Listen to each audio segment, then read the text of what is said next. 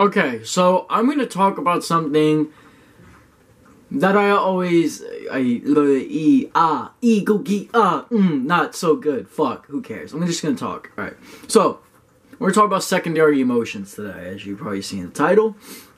What the fuck are they? Hold on.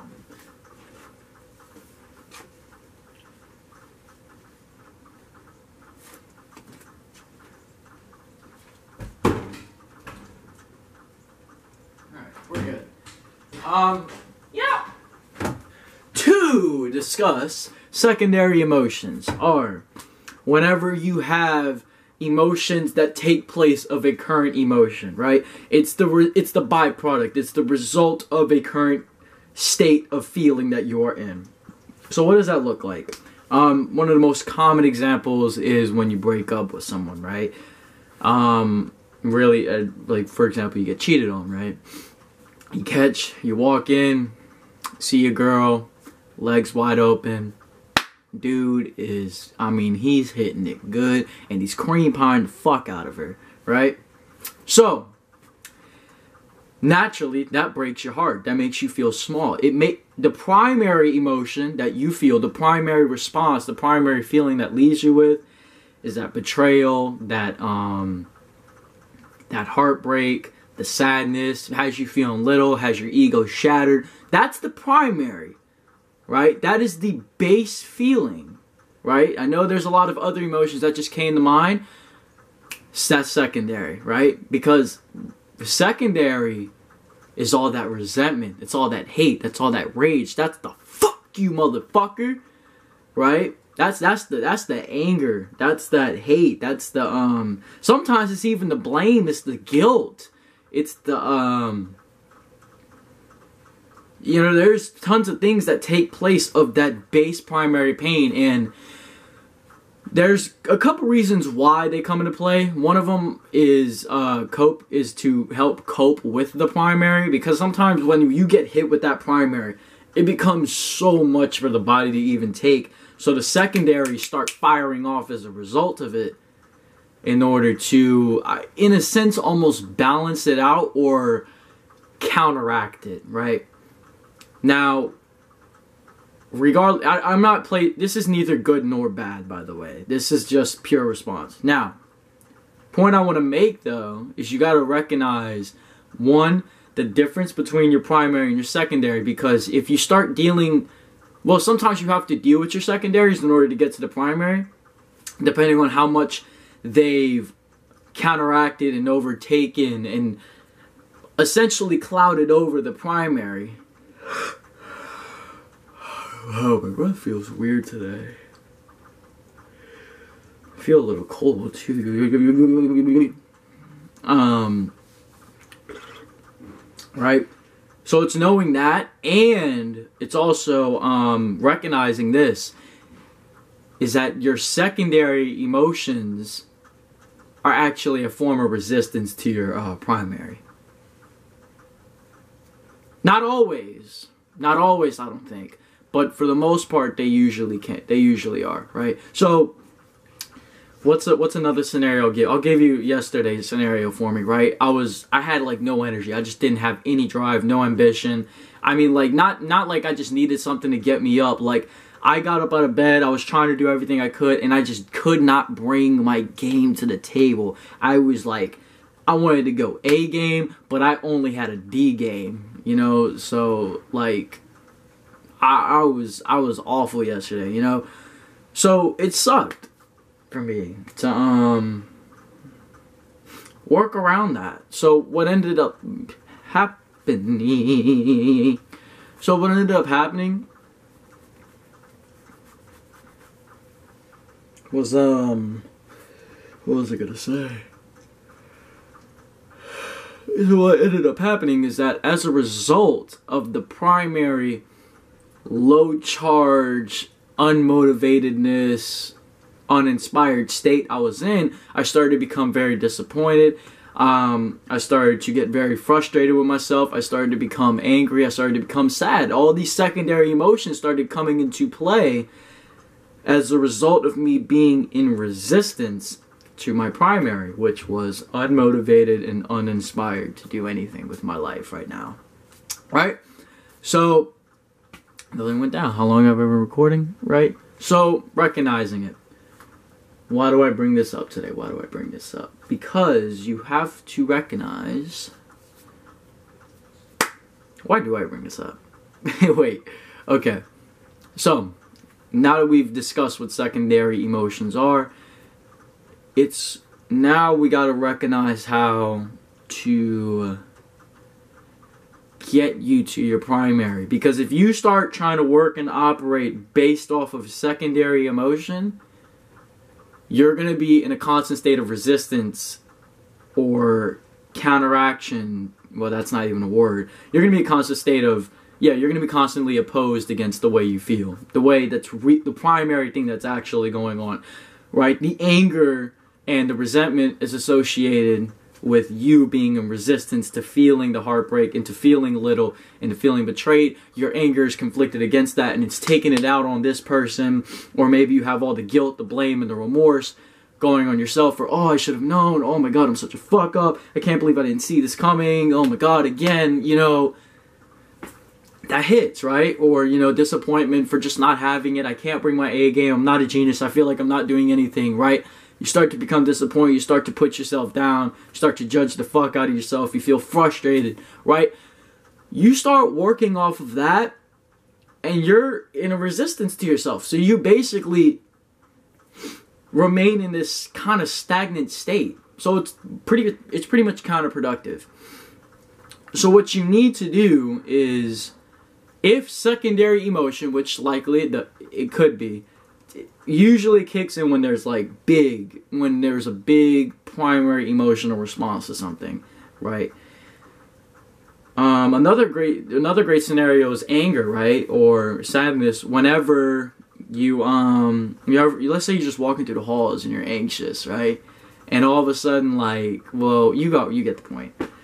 Um but if you you work you work off that we have to get you to clear off your resistance we have to get you to recognize that the primary is the thing you need to allow to happen, right? That emotion, that primary state, that's what we want to get you to. And for as long as those secondary emotions are clouding that, you can't get to the primary.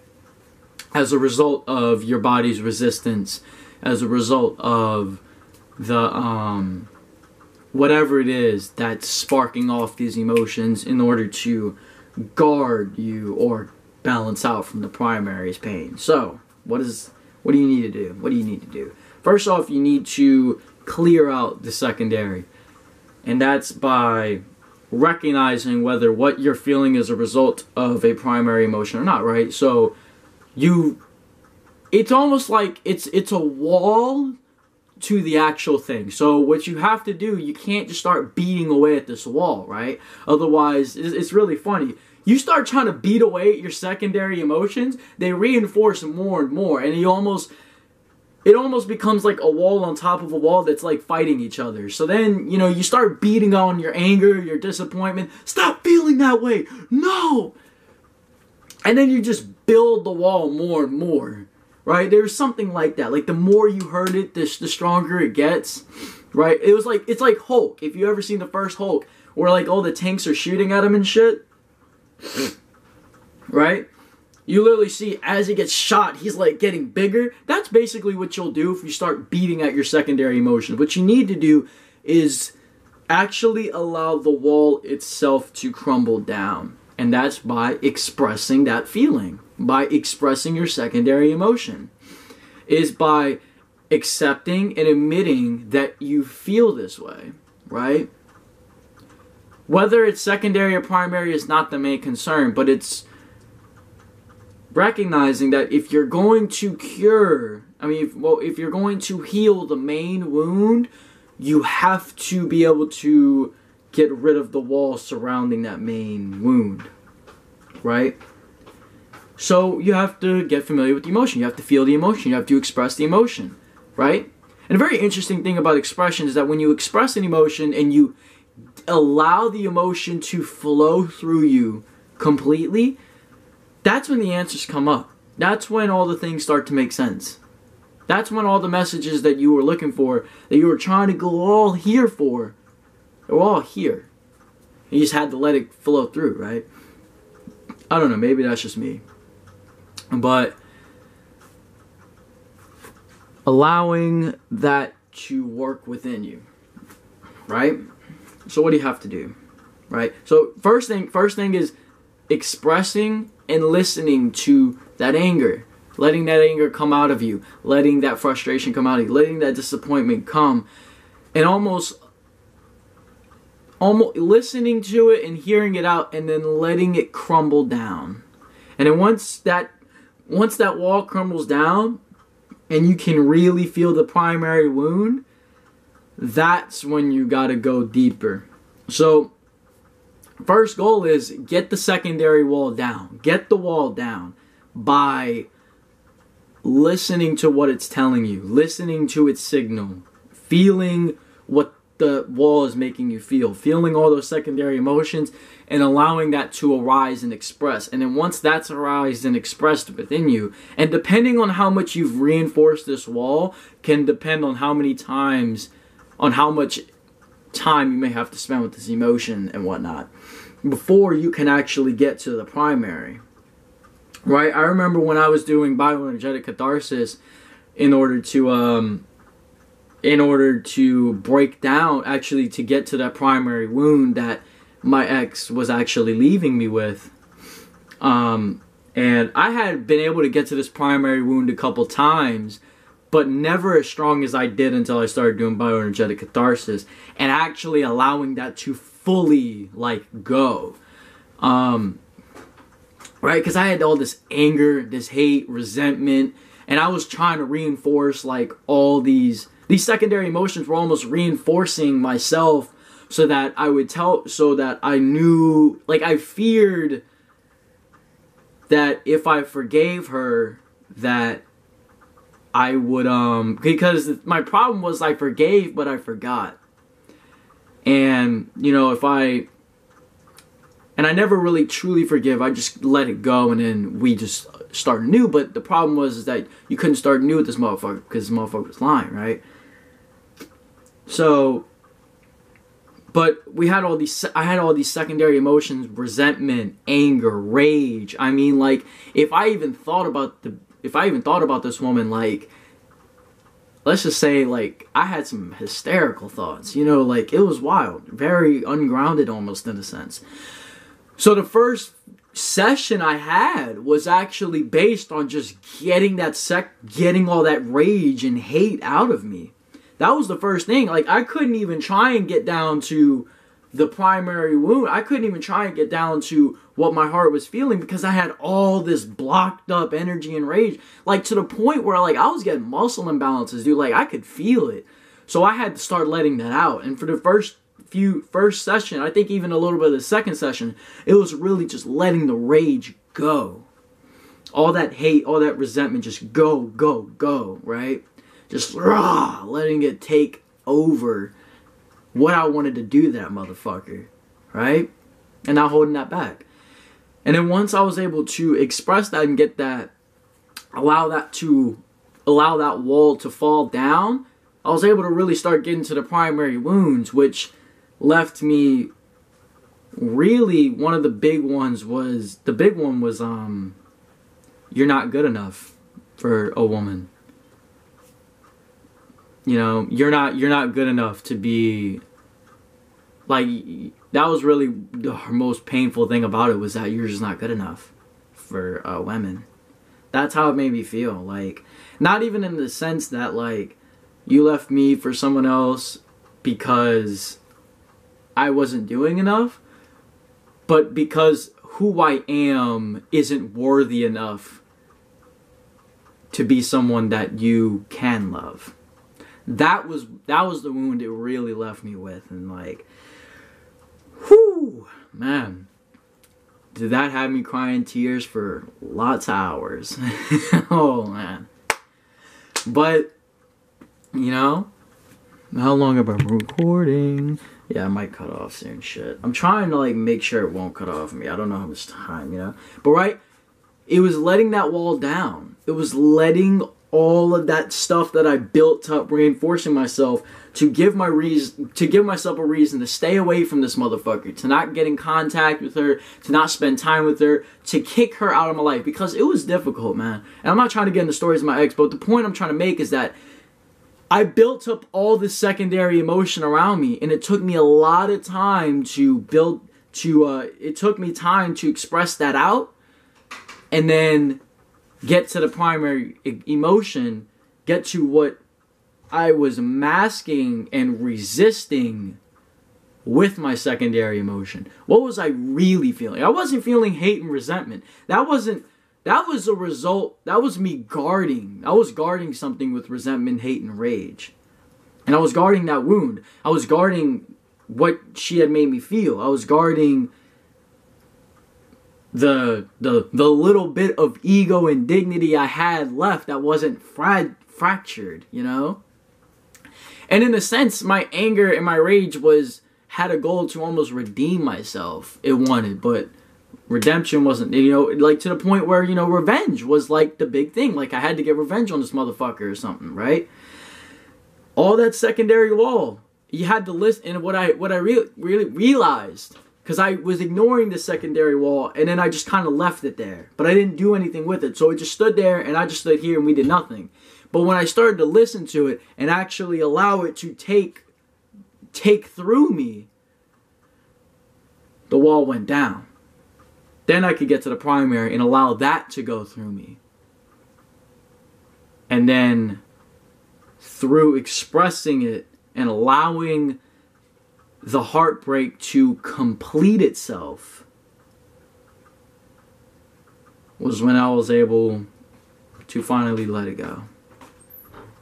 It Was when I was able to finally have forgiveness descend upon me. When I was able to finally have understanding, self closure, right? Through a lot through getting to that primary. But I you don't just get straight to the primary. You have to let that wall take through you. Okay? So, something interesting I thought I would share. I kind of shared a more drastic scenario for you, a more drastic level scenario for you there. You know, this could even be something simple, you know, like yesterday's scenario, like I was bringing up earlier in the video, where the disappointment and frustration and whatnot, you have to allow that wall to take through you and then allow it to fall. And then when it falls, you can get to your primary feel. And when you get to the primary, you let that come through you. Right? There's the wall, and then there's what is protecting. You have to allow yourself to experience both. Never fight a wall. Never try and break down an emotional wall. Otherwise, it reinforces more and more. Always allow and feel the emotion. Or you end up blocking it up and then it goes nowhere and it's stagnant. So then what you're doing now is you're carrying baggage. You're carrying emotional baggage with you.